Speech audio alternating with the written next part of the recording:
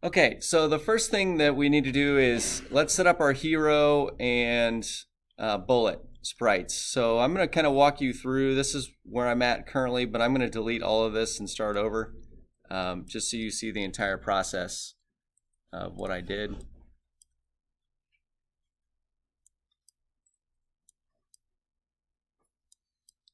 So uh, first going to start with hero and bullet, not even an enemy sprite. So got these two going.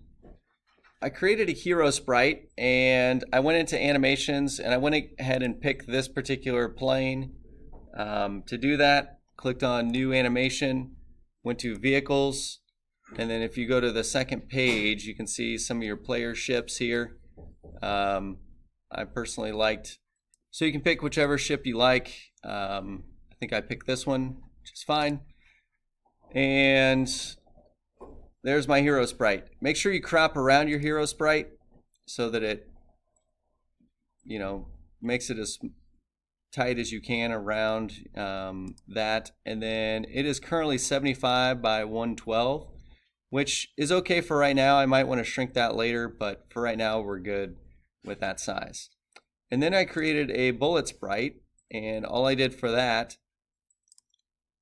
um, is I created my own. So I went to draw your own, went to resize, and I went ahead and um, resized it so its width is 5 and its height is 8 pixels. And make sure that you have maintain aspect ratio unchecked. And then I just hit resize, and then I just filled this with, with red. And that's my bullet. So it's this little bitty sprite here compared to my larger hero sprite. Um, and then called this one hero, called this one bullet, and we are good to go. So uh, eventually you're going to put an enemy in there, so I've got an enemy uh, right now, but we'll get to that. So where do you start your hero and where do you start your bullet? So I started my hero at 200, 350, so that way he's down here at the bottom. Um, and then I've got my bullet starting at the hero.x location, which is at 200 and then at 450 for the y. So it's actually off the screen here. And there's a reason for that, uh, which we'll get to in a minute. Um, I need to draw a draw function, and then I need to do a draw sprites. And if I run that, we should see the hero, um, and currently no bullet because it's off the screen. If you wanted to, you could put this at hero.y, and now it's sitting right here in the middle of your spaceship. Um, if you wanted to, you could actually say it's hero.y minus hero.height divided by 2. If you think about where that's going to place it, it should place it right at the tip of the nose there. Because what it's going to do is it's going to put it at the hero.y, which is right here. Then it's going to subtract, so it's going to go up half the height. So half the height would be, you know, to here and then it's going to put it right the middle of the nose. Now, if you want to do um, subtract another half of the bullet, so you could do minus uh, bullet dot height divided by 2. Now it will actually show up right at the tip. Um, oh, it's because it hasn't been created yet, so it doesn't like this, uh, the fact that you're trying to do that. You can just reset its Y value if you want. Um, like in the next line of code. So you can't you can't make the y value of the sprite equal to the y value of the sprite when it hasn't even been, been set, or the height of the sprite. So we could say it's uh, the bullet y. I'm going to copy this bunch of code right here, and then I'm going to edit it and say it's minus bullet dot height divided by 2. And this one I can just put, you know, whatever. It doesn't matter. So you don't have to do this, but I just want to show you now the bullets at the tip of the nose. Are you going to notice a difference? Not really. So is this really necessary? Probably not.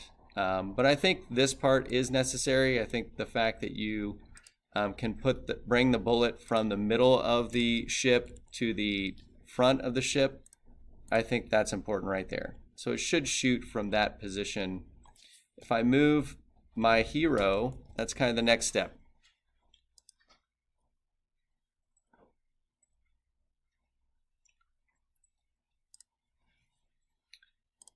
So let's move the hero.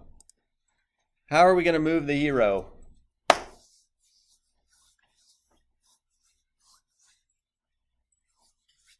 I just want my hero to move back and forth for my shooter. So how am I going to do that?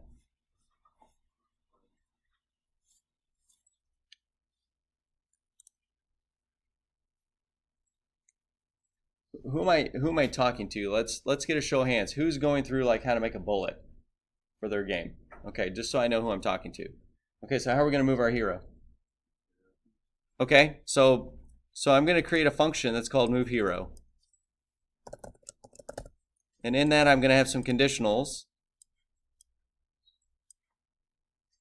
So if key down, and I'm going to do left arrow, and then I'm going to do a key down, right arrow, and then what am I going to change about my sprite? Hero.x gets hero.x. Left is minus, so let's do minus 5. And then on this one, I'm just going to copy it, paste it, and this one's going to be plus 5. So let's try it. So I should be able to move it oh, I got to call move hero in my loop. So I got to call that function inside of here. Run it. Okay, so do I move my hero? Yep, what's the problem?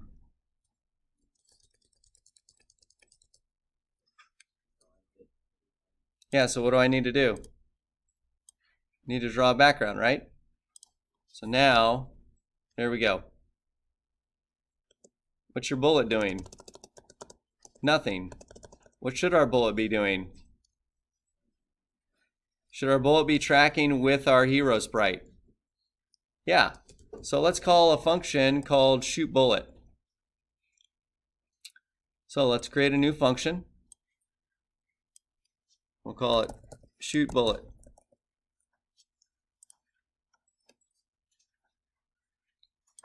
Uh, what do you want to make your uh, your shooting button? You want left mouse? Okay. So we're going to do um, mouse went down. So if the left mouse button went down, what happens? So this is where we kind of need to think about um, our bullet. First of all, should we be able to see our bullet currently? No. Where should our bullet be located?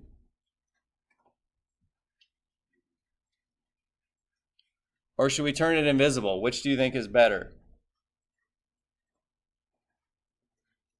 Well, I'm going to say that moving the bullet off the screen is better than turning it invisible.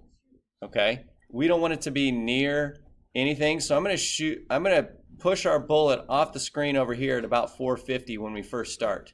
So when I create my bullet to begin with, it's not going to be at hero.x anymore. I want this thing to be over here at 450. So when I run it, it's now chilling out in space and we can't see it because it's off our screen, which is perfect. As soon as I click my left button, what do I want the bullet to do? I want its x value to now be where? Bullet.x is equal to hero.x. So it's going to now appear right on top of there. So let's check it. So if I move my guy and I left click, where did it come?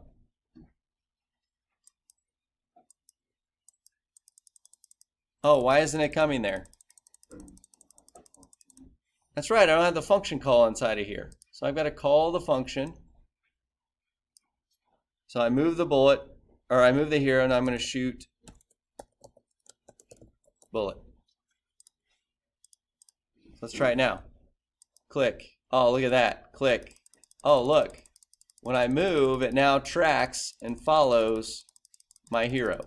Every time I click, click, click, click.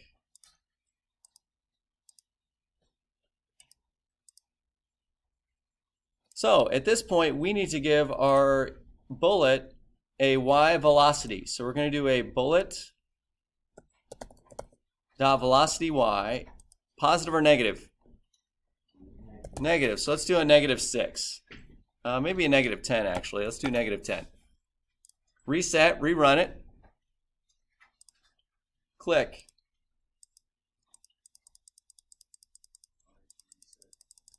Oh, I need to reset its Y position as well. That's correct. So watch what I'm going to do is I'm just going to copy this line of code up here. And I'm going to bring it down. So anytime I click, it's going to reset its X and reset its Y. And then it's going to give it a velocity of negative 10. So let's try it. Okay, what happens when you multi-click?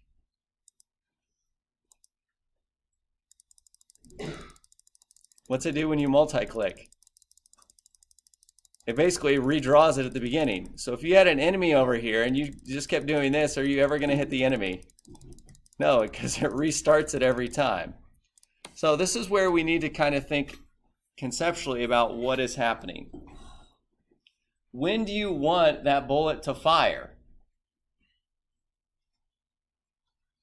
Only when it's ready to fire. Would we agree with that? So we're going to create a variable at the beginning that's called can shoot. And we're going to say that it's true to begin with. And you're like, what does that mean? Well, can the bullet be shot currently? The answer is yes. So check this out in terms of our Boolean. Uh, this is called a Boolean operator. So I'm going to go to show text I don't want the bullet to fire at any old time now when I click the left mouse button. I want it to fire if the left mouse button is clicked and what? And if I can shoot. And what this AND operator does, this AND AND, says that this condition must be true and this condition must be true. What is the current value of can shoot? It is true. What happens if after I shoot, I turn can shoot to false? Will I be able to shoot a second shot? No. So watch when I run it now. If I shoot a shot, I can't shoot more shots when I left click. It only allows me to shoot one time. No more shooting. Then you have to think to yourself, when do I want to re-enable shooting?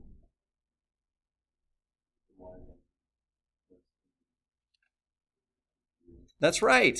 So I need to put an if statement here. If bullet dot y is less than, let's say, negative 10. So it's off the screen. What do I want to now do? Well, I can move the bullet to um, 450 in the x direction, so not sitting way off the screen here. I can change the bullet dot velocity y to zero, so now it's just sitting in space over to the side. And I can change the bullet dot y to um, hero.y. And the last thing that I can do is turn can shoot back on. So now watch what happens. When I click, it goes off the screen, but now I can click again. And I can click again. And I can click again. And you're like, well, how do I know that it reset my bullet? Well, I can go over here and look at my bullet.x value, you can see that it's 450. I can do my bullet.y value. I can do my bullet.velocity y value, and I can see where it's at. So it's just sitting out here in space. And so I shoot again. Again, you can see a change, and then boom, goes to a reset position off the screen.